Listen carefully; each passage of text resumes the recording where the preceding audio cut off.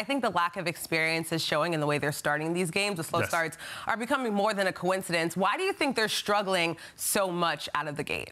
Because remember, every week that they go against a, a different opponent, that's a different situation Yeah. underneath a different defense. So they haven't had that collective data to say, hey, when this happens, this is how we're going to handle it, right? The person next to you, right? They played with each other. You talk about guys, you know, Morgan Moses played a couple years ago with Vera Tucker, so he's familiar with him. But in this system, it's different communications, it's different rules, it's different tools in your toolbox. And until they have that collective information, it's going to take time. Remember, when Aaron Rodgers, his last year in Green Bay, he had a bunch of young rookie receivers, Christian Watson, I forget the other guy, but it, it was a slow, slow rise. By the time they got to the week 10, they were ready to go and they start getting a lot of momentum.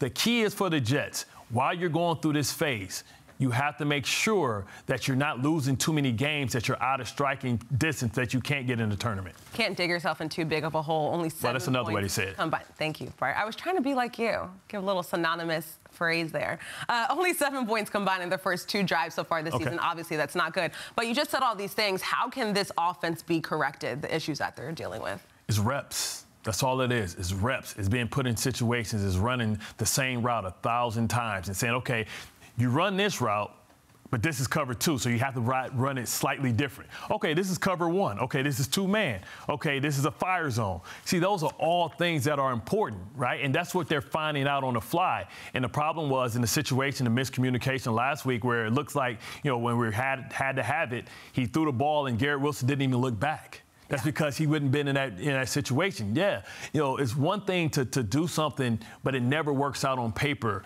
the same way that it does on the field.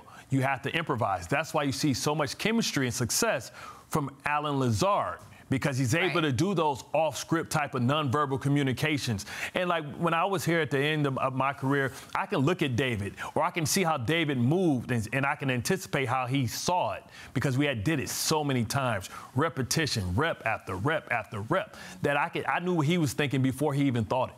Yeah, but that comes with so much time. I don't know how much Yes. time this offense You has. gotta put it in the In a system that is in a win now Right, but situation. but that's why you have to co- collectively get the reps. That's why it's important that you know guys aren't in and out of the lineup, guys aren't injured, because you have to have these collective reps. You have to come to the sideline and communicate. This is what we're going to do, and you hope we like to believe that when we go against a team that they're going to run the, the defense that we've seen on film. Right. But what if they have a game plan wrinkle? You have to be able to say, okay, now we have to think on, on the fly. That's like I why I said that, you know, maybe Aaron Rodgers needs to get a couple more allies here, people that know the way he thinks, that has that collective information about how he thinks in certain situations as the other guys catch up and get up to speed.